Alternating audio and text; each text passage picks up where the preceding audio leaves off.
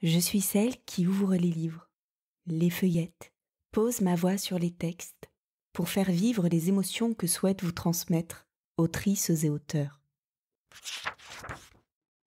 Lorsque j'étais une œuvre d'art, extrait du livre de Eric Emmanuel Schmitt. J'ai toujours raté mes suicides. J'ai toujours tout raté pour être exact. Ma vie comme mes suicides. Ce qui est cruel dans mon cas, c'est que je m'en rends compte. Nous sommes des milliers sur Terre à manquer de force, d'esprit, de beauté ou de chance. Or, ce qui fait ma malheureuse singularité, c'est que j'en suis conscient. J'ai honte de moi, incapable d'entrer dans la vie et pas fichu d'en sortir. Je me suis inutile, je ne me dois rien. Il est temps d'insuffler un peu de volonté à mon destin. La vie, j'en ai hérité. La mort, je me la donnerai. Voilà ce que je me disais ce matin-là en regardant le précipice qui s'ouvrait sous mes yeux.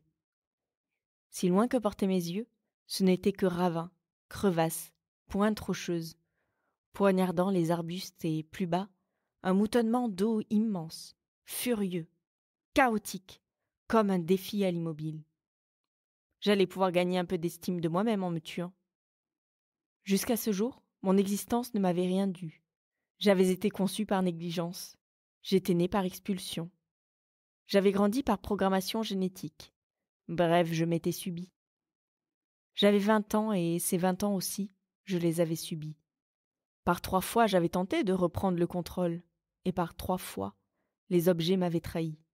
La corde où je souhaitais me pendre avait rompu sous mon poids. Les somnifères s'étaient révélés des pilules placebo, et la bâche d'un camion qui passait m'avait reçu douillettement malgré les cinq étages de ma chute.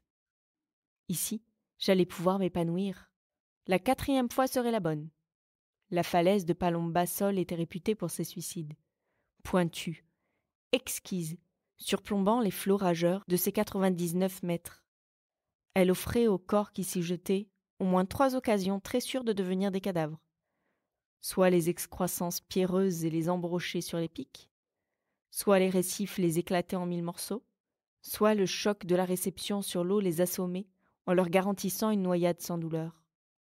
Depuis des millénaires, on ne s'y ratait pas. J'y venais donc plein d'espoir. Je humais l'air avant de m'élancer. Le suicide, c'est comme le parachutisme. Le premier saut reste le meilleur. La répétition émousse les émotions. La récidive blase. Ce matin-là, je n'avais même plus peur. Il faisait un temps parfait. Ciel pur, vent violent.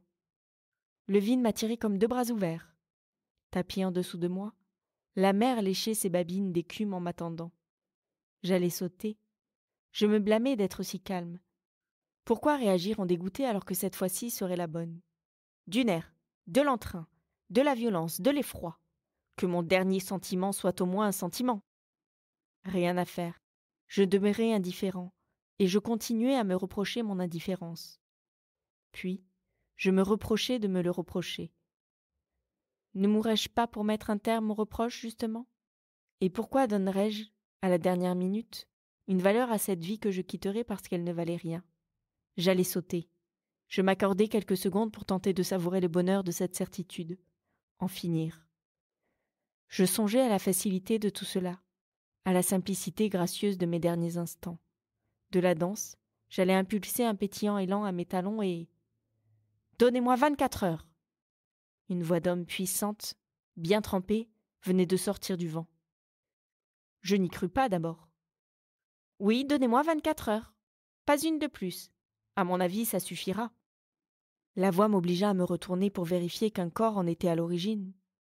L'homme, vêtu de blanc, assis sur un pliant de golf, les jambes croisées, les mains hérissées de bagues posées sur le pommeau d'une canne d'ivoire, me regardait de bas en haut comme on détaille un objet.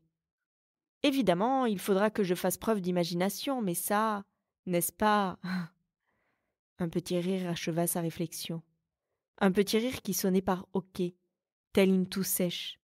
Ses fines moustaches se relevèrent en découvrant une rangée de dents qui lancèrent des éclairs de plusieurs couleurs dans le soleil. Je m'approchai. Des pierres précieuses étaient serties dans les mailles des canines et des incisives.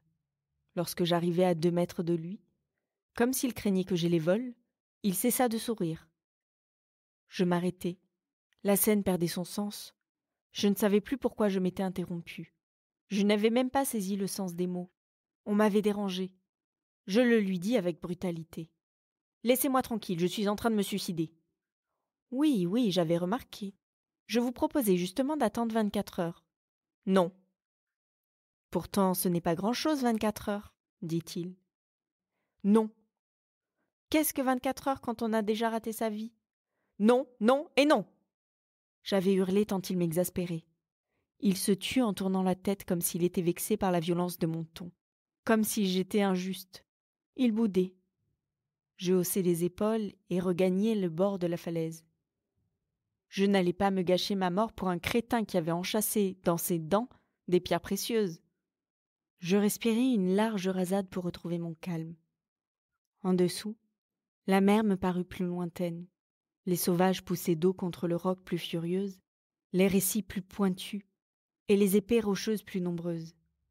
Le vent devenait une plainte qui m'agaçait les oreilles, une lamentation de vaincu. Était-il toujours là? Allons. Je n'avais même pas à m'en préoccuper. J'accomplissais l'acte le plus important et le plus digne de mon existence. Rien ne devait m'en distraire. Oui, mais était-il toujours là? Je jetai un œil en arrière.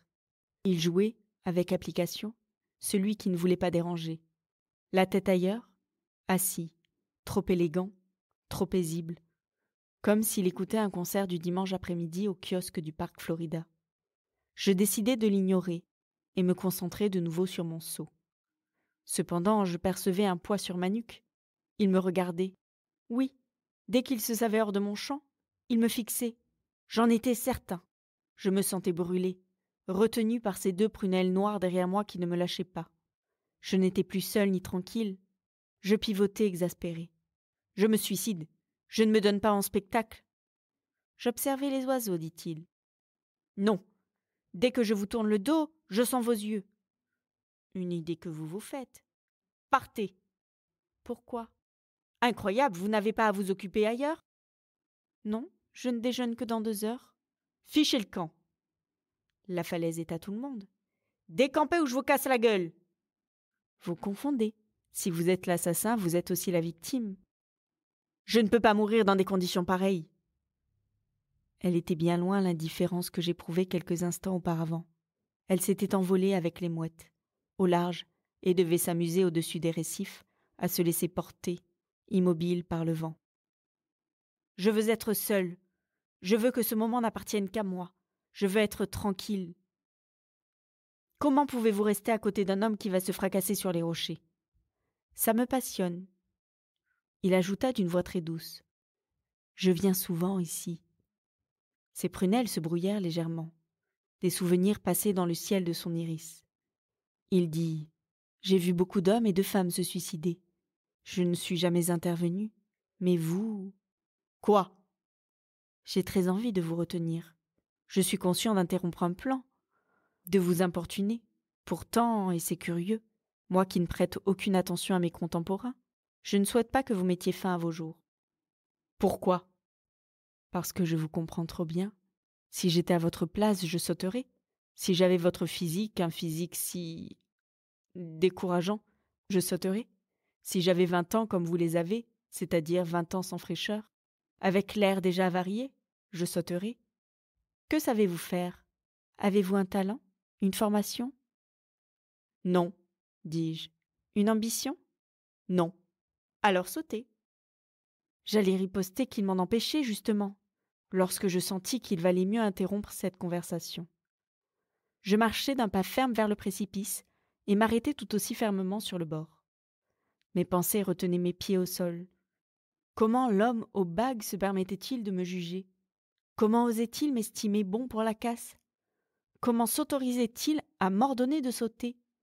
Je me retournai et criai dans sa direction. Je ne me suicide pas pour vous, mais pour moi. Il se leva en dépliant un long corps mince et vint se placer à côté de moi. Le vent le faisait osciller d'avant en arrière. Vous êtes vraiment changeant. Quand je vous propose de ne pas sauter, vous voulez sauter. Et lorsque je vous propose de sauter, vous ne le voulez plus. Faut-il toujours que vous contredisiez celui qui vous parle? Ce que je fais ne concerne que moi. Ce que je refuse, c'est simplement d'envisager que vous êtes là. Partez. De toute façon, c'est trop tard. Vous ne sauterez plus. Si l'on hésite au-delà de quatre minutes, on ne saute jamais, c'est prouvé. Or, je vous observe depuis huit minutes déjà. Il sourit et le soleil vint heurter avec violence les gemmes de ses dents. Ébloui, je dus battre des paupières. L'extrait est à présent terminé. Je sais, c'est déjà trop tôt. Mais vous pouvez poursuivre la lecture de l'œuvre dans son intégralité grâce au lien en description. Si un texte vous tient à cœur ou si vous dénichez une nouvelle lecture, rendez-vous sur lafeuilleteuse.com. Il est probable que je lise un extrait dans une prochaine émission.